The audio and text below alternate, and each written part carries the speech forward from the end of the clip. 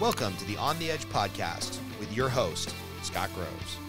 So, is there like a series of commands that you go through to turn them on? From like, I'm thinking about Mike Tyson, right? Getting into a ring, Yeah. and he would tell these stories of like, yeah, you know, when I was in the dressing room, I'd be a normal human, and then once I start swaying and punching the wall and warming up, I just Yeah. turn into an animal. Yeah. and I was like, wow, that's really scary. The thought of Mike Tyson as an animal. Right, but um, yeah, i- not is good. there like a series of commands you give them to turn them on? Like if if you were at home and it's just in chill mode and my kids are over there playing and then you hear you know somebody break the glass of the back window Yeah. what happens for him to get stimulated and turn into aggressive dog Yeah, so like it's it's more again like the dogs really understand context, right? There are things that I would say within the sport to like be like, oh, like watch him, you know, um, or I can give him a command to like go and run up and bark but not bite. Do you give the Um, commands in german since everything's based in Uh, germany some some people do. Okay. Um, I do some of them in German and some of them in English. yeah Um, but yeah, you can do you can do German, you can do English, you can do Belgian, um, you can do all, all kinds of stuff. You can do Spanish if like you spoke Spanish. yeah Um, because the idea is like if you tell somebody if you tell a dog to attack somebody else and he knows all of his commands in german and i'm yelling him in english to stop he won't stop because that's not the command he knows he- right he- that dog don't give a shit whether you know the words or not. You know what I mean? These dogs know how to work, and and a good dog, they're not they're not listening to the guy that they're biting. It doesn't matter if you know the magic words. It's not like that. You know, oh people it. think like, oh, you're gonna like I'm gonna come and control your dog because I know your words. It's like, no, you're not. You don't have the relationship with my dog. You don't have the understanding of what we're doing. Yeah. He doesn't know you. You know what I mean? If I gave you the leash and said, hey, you know, go with it, go with them, like, yeah, he you could work him and he would listen for you. Some dogs won't, but like my dog would. Yeah. But if me and you were fighting, like my dog's not gonna stop because you're asking him to stop. you yeah know? dog's ripping my leg off yeah, my yeah. calf is gone Yeah. So like, if, but if I was like in the house and like I heard a noise, I would just kind of act suspicious, and he would pick up. I'd be like, "What is that? right Did you hear that?" And like he he switches on fast because like I have had that happen before, right? In like a, in an old house that I was at, it was in kind of a sketchy neighborhood, and I actually had like a temp break in a couple times, but while I was gone, um, but one one time like we heard a noise or whatever, there was a big bang, something outside, and I'm like, "What is that?" and he like got up and he starts like low crawling almost like a panther. yeah And like when it's dark in the house and he's all black, dude, it is scary. Like I'm like, okay, he's gonna go and I'm like, I'm like, go see. And he like ran out there. He's he's like super confident. Um, Yeah. That's a that's a huge thing too, is like genetics in dogs. It's it's super important, right? It controls so much of of what's going on there and why they do things. And there's dogs that just don't have don't have confidence, right? Poor breeding, a lot of things can go on where um, dogs become super nervy, anxious, all these things, and that's why they do so much testing when they're doing people for sport or people for military and working dogs, police dogs, all that. They go through rigorous testing to test the dog to see what the genetics are because they can do all the training in the world, but if the genetic baseline isn't there, the dog will fold under pressure. You know what I mean? Just like people too.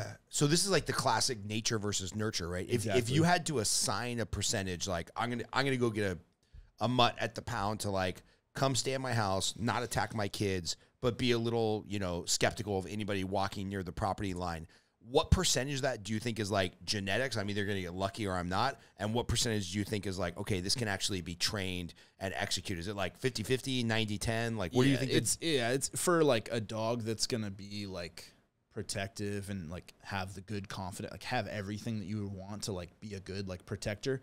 It's it's super super genetic. You know what I Really? mean? Yeah, like like my dog with how just how he is and who he is, he could just have gone to like a family and not done any training and they just like feed him cookies and hang out with him and if somebody broke in the house, I guarantee that dog would nuke somebody. Right. Like just just how he is and how confident he is and his natural kind of curiosities and desires. Like he's it, like almost nothing startles him. Right? Yeah. He can hear a noise or if he hears fireworks or a gunshot and he just kind of like "Hmm, what is that? Like he's like Right. he's like assessing it, right? But then if he I've seen him when somebody sketchy walks up behind me and he just kind of like his body language just changes. Like he just knows what his role is. You know what I mean? And and Yeah. that wasn't something that I taught him, right? I taught him specific details within the bite work and within certain things and obedience and control.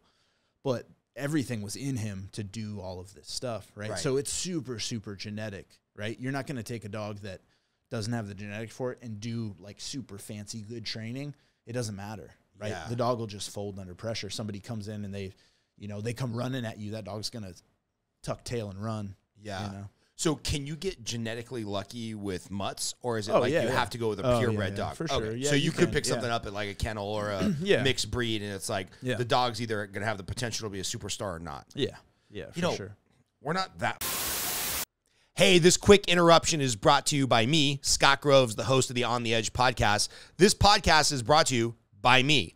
Uh, I'm a loan officer who can help you with a mortgage in all 50 states across the United States. I also coach loan officers. So if you are a home buyer who's looking to get a mortgage, if you're a realtor who's looking to partner with an awesome loan officer, or if you're a loan officer looking for coaching, get in touch with me. It's those sources of revenue that allow us to produce this podcast and get out a new episode to you every week for the last couple years. So, if you're looking for a mortgage, if you're looking for a mortgage lender to partner with, or you're looking for a mortgage coach, I'm your guy. Now, back to your regularly scheduled programming.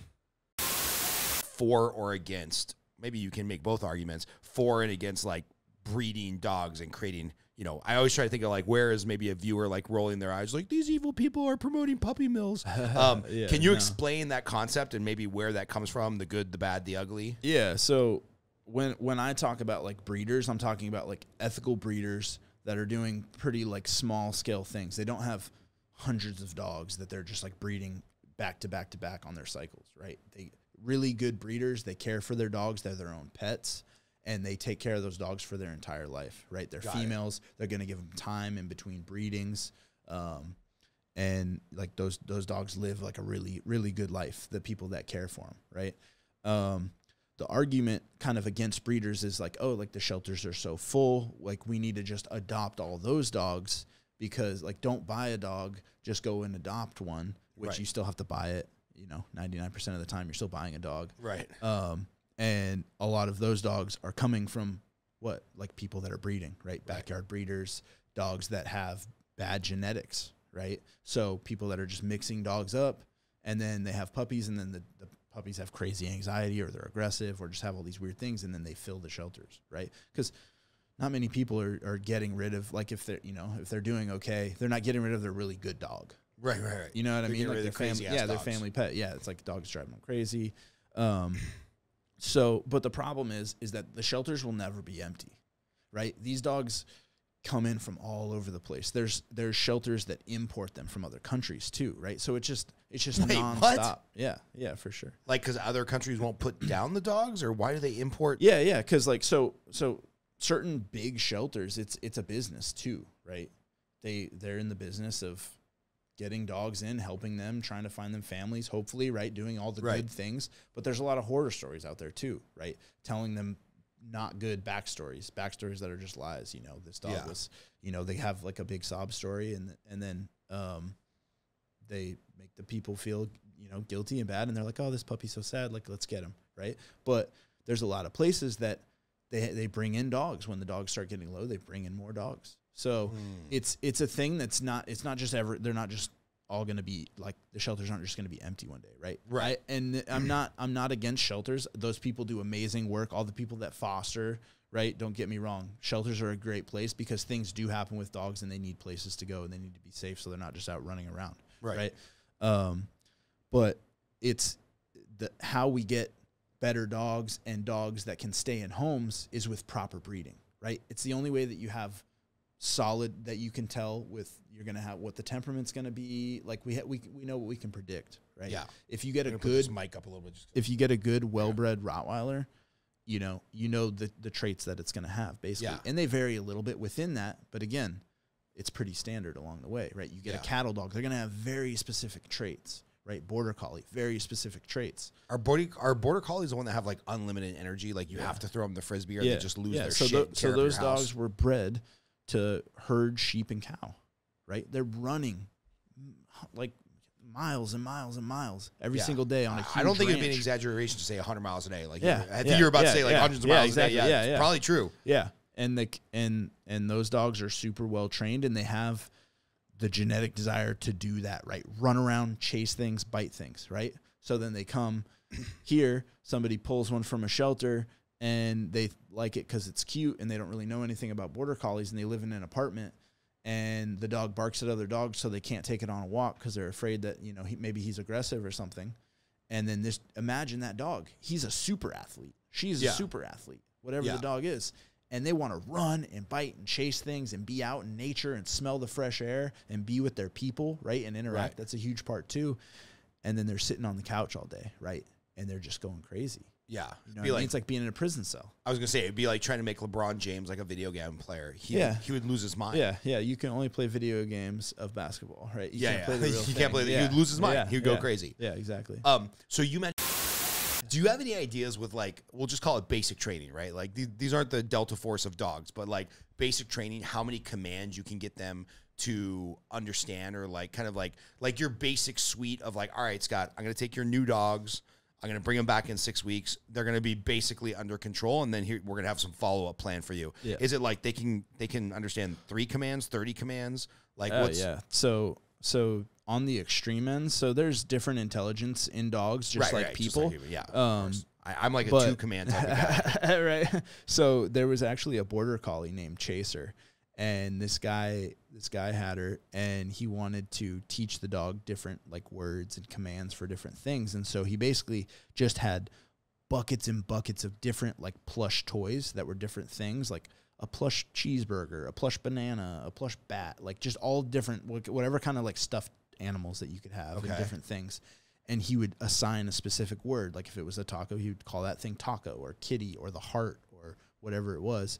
Um, and that dog understood uh, well over 2,000 words What the fuck? and it was complex too. It wasn't just like he the dog understood the words. He could give the dog different commands within a sentence to go and do to that. So he could say he would be behind a like a wall, and he would be with the dog, and he would say, uh, "Go find taco, go go bring taco to me, go bring taco," and the dog would go and pick up the taco and then bring it Out to of him like and two it. plush No, animals. no, no. He would Oh. put like a few out at, at, Oh, at a time, right? But Got the it. dog has specifically know the name of that one toy, Right. And then he would say, "Go bring it to me." And the dog would go around. The dog would bring it to him, and then he'd say, "Okay, go, um, go nose the heart." Go nose the heart, and the dog would go over and then bump the heart with the nose. So the dog is understanding different concepts of what to do with those specific words, not just like go get each toy. He had Right. specific different things that he could do to each toy, as well as so this dog understood thousands of. of That's gonna and be like the right? Einstein of dogs, though. Yeah, right? yeah. So that's so that's uh, again on the extreme end, and again, we don't need that for everyday life, right? Right, most most dogs. Are I don't gonna- have two thousand things yeah, in my mo- house right most now. dogs are going to be fine with like five to ten basic commands, right? Got it. Sit, come, stay, down. Uh, you know the recall come. Attack. Uh, heel, you know, attack. If it's a protection dog, yeah, like they're gonna have more commands, obviously, Right. because they're gonna be doing more complex stuff. But yeah, for like a regular house dog, they're gonna have like ten kind of formal commands, and then leave it, you know, stuff like that. Out, um, go away. You know, you can have a command for them to like run away. Um, just you know, you can make them do anything you've seen them do and put a word to it. So it just kind of depends on what you want. But for most basic people, yeah, it's like five to ten words the basic stuff. And then I always tell people, look, you're going to have these formal commands and these words that you know and how to communicate with the dog in this very specific way. But you're also just going to be hanging out and talking with the dog, just like we all do. Right. I, I give my dog, when we're in the house together, he doesn't have any collars, leashes on anything. He's hanging out with me. I almost never use any formal commands that he knows, like for when we're doing actual like training stuff, Right. right? I'm just like, hey, buddy, come on, let's go inside. And he's like, oh, let's go inside. Okay, cool. And then I'm like, hey, you ready for your By the way, I like your dog voice. You're like, yeah, come on. right let's go." yeah like you know like that's it's, i just picture him doing that you know my dog Totally. cutter yeah Is any dog beyond saving? Like, is there some that just have to be put down? uh yeah yeah i mean there's some that that get there eventually and there's i mean there's so many different reasons that we could go into but for the most part most of them aren't there Yeah. you know um one one big issue that can happen within dog training um, and it can happen on there's so you, I know you don't know specifically too many deep things, but there's kind of like wars going on within the dog training community, and there's like force free people that don't want to use tools in specific ways and just want to use like food and positive reinforcement, and then there's kind of the balanced trainers that are willing to use tools and kind of When you say tools, do you mean like those collars that have like the little spikes yeah, on them? where prong collars, prong e collars, yeah, okay. different things. Um, and so there's kind of you know sides that people get on, and they go back and forth, right? Um, how we do things do things in within TWC is is kind of different. Like we would be considered balanced trainers because we do use tools, but how we use tools and how we do kind of the entire foundational learning of the dog is completely different. Um, and so you know, within that, there can be problems where if somebody is just doing like force free stuff and, you know, maybe they've been training dogs for five years and they, you know, know how to do obedience and know how to train the dog to do specific things. And then they get an aggression case where that like you're not going to fix it with giving the dog a cookie. You know what I mean? There's things that have to happen. There's there's boundaries that have to be set, and there's very specific ways that you have to go through it, depending on what the dog is, what they're showing, what they're doing. Um, and if you don't know those things, it can seem like the dog is just unsavable, you know, just too aggressive, right? There's dogs that um have killed dogs that can be trained that can be okay, right, in certain situations and actually be livable and safe and, and do all these things, right? Um, but again, you, you have to look at the dog. You have to make sure that know health issues are taken care of. The dog's not in pain. There's so many weird things that can happen. Right. Um, there are rare cases where there's like neurological things where something's just like off in the brain of the dog. Right. But again, this stuff is like pretty rare. Yeah. And it can be talked about as like a pretty like hot topic and some things will get, you know, pushed into those categories that aren't really that, but they'll get blamed on that because it's a better story than like, well, the dog was just untrained and didn't have a purpose and started going crazy and when he lashed out, he learned that he could make people, you know, go away or Yeah. do whatever he could get what he want and then the dog just kept escalating because it was within him to have that confidence of like, no, I'm going to run the house now. Right? right, right, right. Yeah, and like it can be scary. You know what I mean? And people don't know what to do. They have this animal. They're not trainers. Yeah. So, yeah, it can be it can be interesting for sure.